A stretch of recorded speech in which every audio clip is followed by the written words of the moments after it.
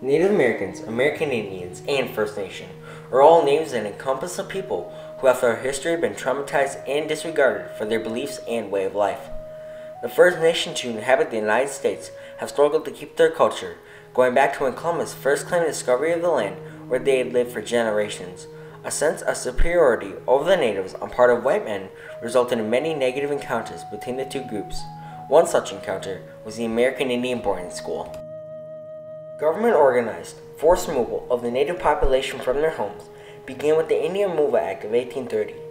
Natives were forced to give up their land in exchange for move to Indian territory or reservations with promises of money, livestock, and tools which were never honored. The white man expected that the natives would farm, something that was new to natives, usually hunted and gathered. Natives were given unsuitable farming land, and after being moved from their homeland, the effects of hunger, disease, and exhaustion were devastating. Of the 15,000 natives who were removed during two years, over 4,000 died, Ultimately, the government viewed assimilation as the only way the natives could survive alongside the white man. Young natives were sent to attend boarding schools to try and exchange their culture for a culture that was viewed as more civilized. The Indian Civilization Act of 1819 allowed government funding to support religious groups and individuals willing to live among and teach natives. This led to the opening of many mission schools, which were the predecessors to government boarding schools, which opened in the late 1860s. The schools quickly gained momentum because of the growing belief that the natives were in need of being civilized. Schools built on reservations were preferred by the natives, but they did not sufficiently remove the influences of tribal life, and it was preferred to build off reservation schools. The white man hoped to produce students that were self sufficient. This contradicted the native belief that all is to be shared with the tribe, and all work is done for the good of the tribe and not the individual. Kill the Indian and save the man was the mantra of Colonel Richard Henry Pratt. Colonel Pratt's statement meant that the natives were supposed to live like the white man and forget about the Indian way of life. The children had to give up all traditions and tribal languages to facilitate the killing of the Indian. They were also forced to celebrate traditions and holidays of the settlers, which would hopefully save the man. Colonel Pratt was the headmaster of the Carlisle Indian Boarding School in Pennsylvania for 25 years. The Carlisle School was opened in 1879 and over 10,000 Native students attended there. Native parents forcibly directed to send children as young as 4 years old to the boarding schools. Many parents were told to send their children to the schools because it was the key to their child's survival in an increasingly hostile colonial environment. Parents were threatened with imprisonment if they did not comply, and many were jailed for attempting to keep their families together. Upon the native students' arrival, the negative encounters were immediate. One student, Lone Wolf, of the Blackfoot tribe remembered, Longhair was the pride of all natives. Boys, one by one, would break down and cry when they saw their braids on on the floor. All of the buckskin clothes had to go. We put on the clothes of the white man. Students were given new white names as they arrived that no longer honored their native heritage. Boys and girls were not allowed to speak their native languages and were punished harshly if they did not speak English. Although most schools were led and taught by Christian leaders, Corporal punishment, such as whipping, slapping, and withholding food, were common. Students thought of the school as a prison. Many would run away from the schools, and rewards were offered for their return. A normal day included standard school subjects, such as reading and math, but as the students were deemed savages and not capable of learning, the majority of the day was spent in vocational or trade training. Boys were taught farming, blacksmithing, and carpentry, while the girls were taught cleaning, cooking, sewing, and laundry. Older students would chop wood for hours a day or other hard labor activities.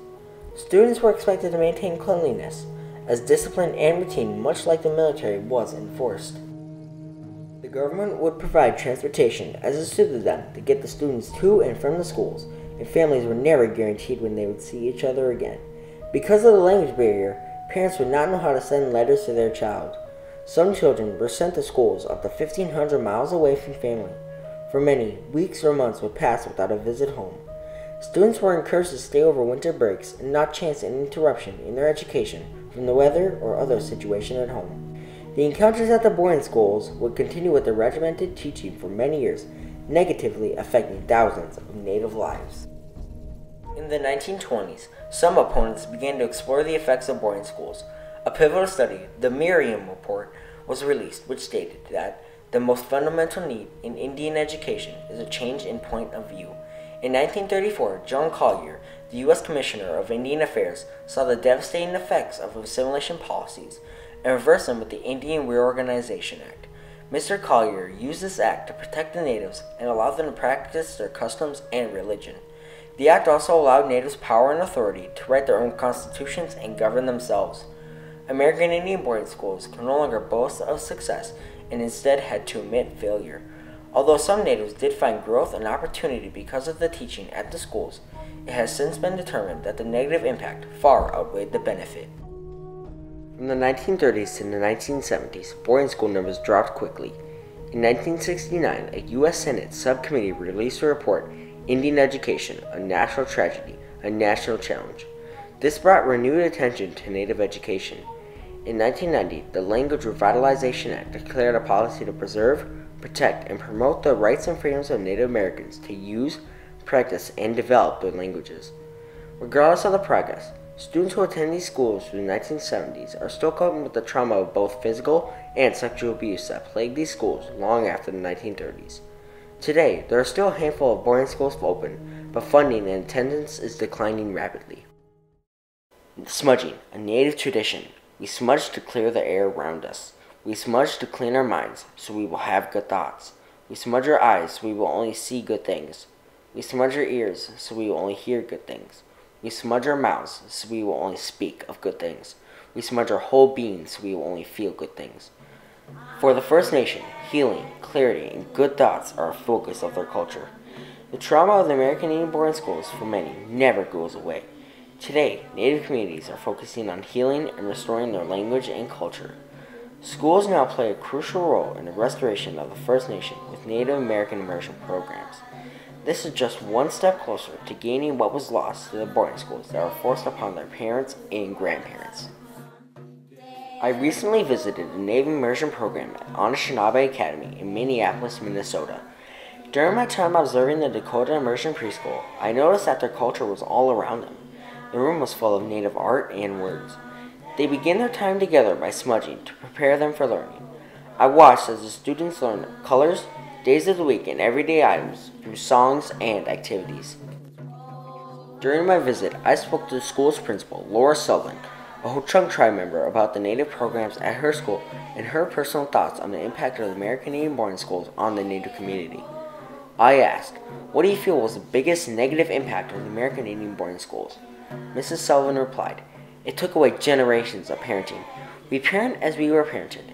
Because of the boarding schools, children were no longer raised by their parents. They instead were raised by those running the schools. The children lost connection with their parents.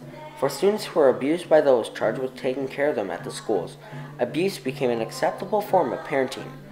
Children also grew up unable to see themselves as successful as they were always treated as a lower class, that they would not be able to accomplish anything. My second question was, what are some ways that your school is bringing back the native culture to this generation?